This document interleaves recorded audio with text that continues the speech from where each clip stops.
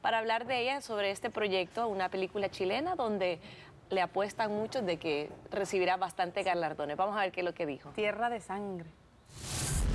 Pues mi personaje es como una mujer muy fuerte, muy independiente para su época, como muy determinante, que toma las decisiones de la familia y pues de repente se va desviando un poquito, se enamora, comete uno que otro error y eso y ahí es donde empieza justamente este misterio de esta viña porque trata sobre el vino que surge de esta viña y el misterio que hay en ese vino, ¿no? ¿Qué te ha dicho tu papá? ¿Ya la vio la película?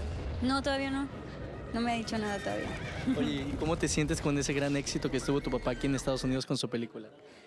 Pues imagínate, estoy muy, muy contenta, feliz de, de estoy sobre todo, yo creo que gracias a eso eh, se está abriendo un camino muy grande para el cine latinoamericano, como que por fin la gente de Hollywood está volteando a ver y se está dando cuenta que había todo un mercado al que no estaban haciendo caso, que era un mercado enorme y muy muy importante. A mí como mexicano y latino me emocionó mucho, me imagino que a ti como hija mucho más de ver el éxito el día que se lanzó la película, la respuesta del público. Platícanos qué le dijiste, qué le, qué le llamaste, qué le escribiste.